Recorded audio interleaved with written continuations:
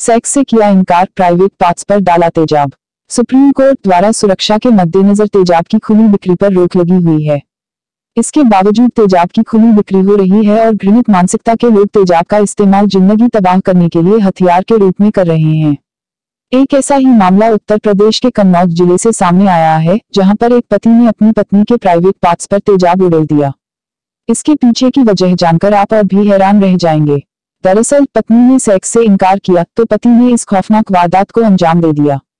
यह घटना सोमवार की है। हालाँकि मामले का पता उस वक्त चला जब महिला के माता पिता ने कोतवाली थाने में शिकायत दर्ज कराई। महिला बहरीन गाँव की रहने वाली है। पीड़ित महिला को गंभीर हालत में जिला अस्पताल में भर्ती कराया गया है। पुलिस के मुताबिक पीड़ित ने आरोप लगाया है कि उसका पति शारीरिक संबंध बनाने के लिए ज़बरदस्ती कर रहा था, लेकिन महिला ने सेक्स से इनकार कर दिया, जिसके बाद पति ने महिला के गुप्तांगों पर तेजाब डाल दिया।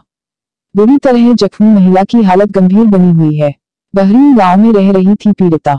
महिला की शादी आरोपी से तकरीबन छह साल पहले हुई थी और वह अपने पति और दो बच्चों के साथ बहरीन गाँव में रह रही थी।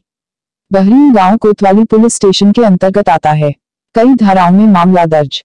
कन्नौज के एसपी हरीश चंद्र ने बताया कि इस मामले में आरोपी समेत तीन अन्य लोगों पर आईपीसी की कई धाराओं में मामला दर्ज किया गया है। आरोपियों की गिरफ्तारी के लिए लगातार छापेमारी की जा रही है।